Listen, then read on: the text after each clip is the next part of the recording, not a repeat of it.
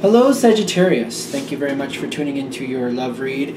For the main part of the read, I'm using the Daily Tarot by Renata Lechner. For the supportive Oracle cards, the Magical Spell cards by Lucy Cavendish. I Already shuffled. Let's see what we got for Sagittarius.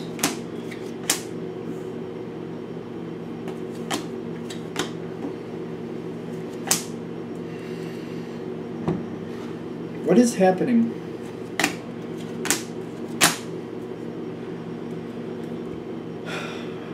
Okay, you got justice here. Um, justice is double justice. This seems to be a thing lately. All right, this is hmm, this does remind me of the Pisces read a little bit. All right, so we'll just go with it. And the reason I'm saying that is it's kind of about one person and the other person and how you're relating to each other. Justice is in between. You got justice at the bottom of the deck you also have the Justice card, Tarot card between you. And you have Isis Inspiration. Who is being helped here? We'll find out. Um, there's there's something going on here.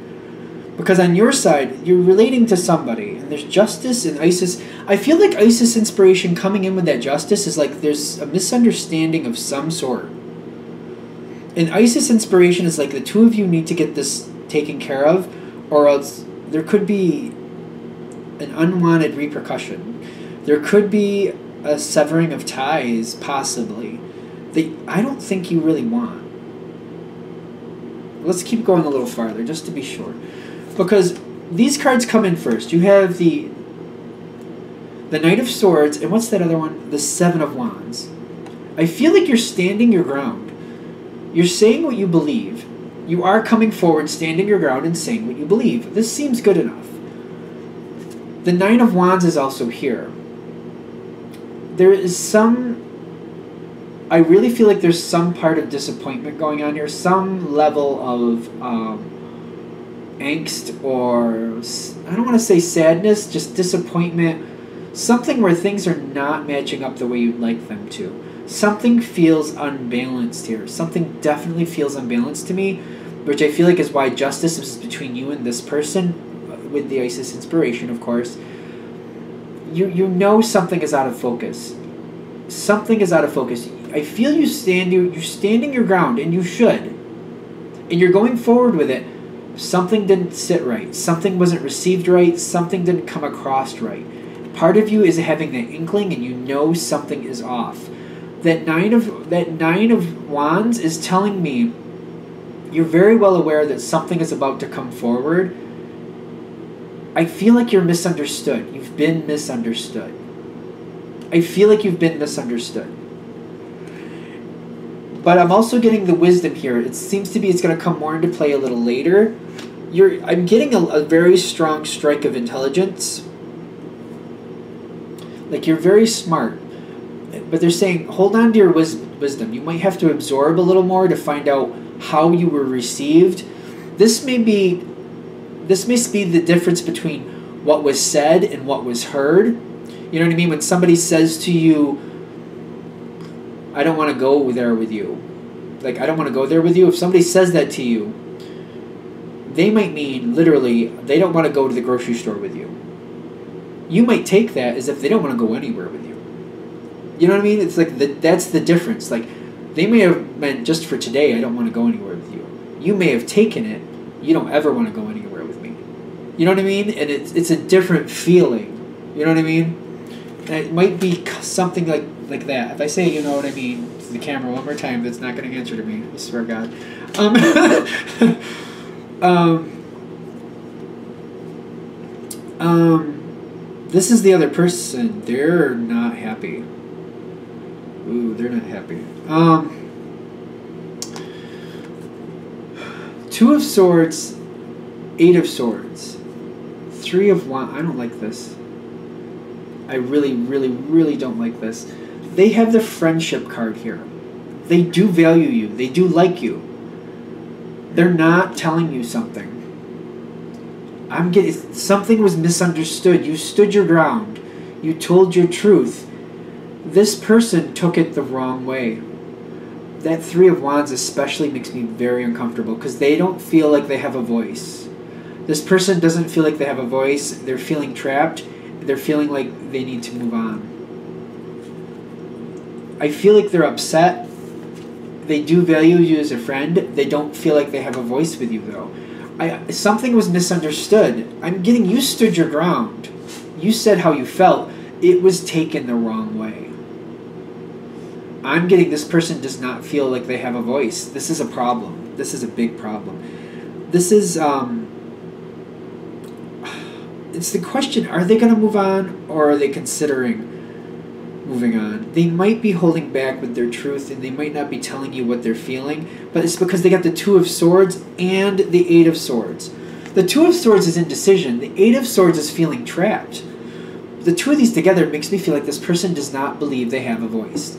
They don't believe they'll be heard, they don't believe they can say how they feel and that you'll absorb it or respond to it. They feel like you've already stood your ground and said where you stand and how you feel, and if they come back with how they feel, they'll just get it shoved back at them. You've already said what you feel, and that's that. They don't feel like they have a voice. They don't feel like it's worth saying something because it won't be received. And they're considering the Three of Wands, they're considering the walking away. I feel bad about it because they do like you a lot. They do want to be your friend. They do have a friendly energy towards you. They just don't feel like they have a voice. This is this is very upsetting. Um, this is sad to me. I'm getting wisdom on your side. I feel like they I feel like they do have a voice. They do. And if they came to you and talked to you about what you said and how they took it, this could be a, conversation you would talk it out with them. Granted, you do have energy at times where you just come forward and you just put it very raw about what you're thinking. But that doesn't make you that doesn't mean that you won't talk it out and explain better about how you feel, and it doesn't mean you won't address how it made somebody else feel. I don't, especially this is a friendly energy. You're not looking to make anybody feel bad. But I feel like when you were standing your ground, I feel like you've had to stand your ground with other people. And I, I think this other person took it the wrong way. I think they, they took it as if you were standing up against them, like they were trying to oppress you or something that's not, I don't feel like that was the truth because I don't think they'd be your friend if that was really the truth. But I feel like you were explaining something and somehow they got warped up in it somehow and they felt like you were coming at them with it instead of explaining it. I'm getting like hurt feelings. I do feel hurt feelings on this side. Uh, I do feel hurt feelings over here, the other person's side. I'm getting it's a misunderstanding that you're not even aware of. Ugh, I don't think you're aware of it.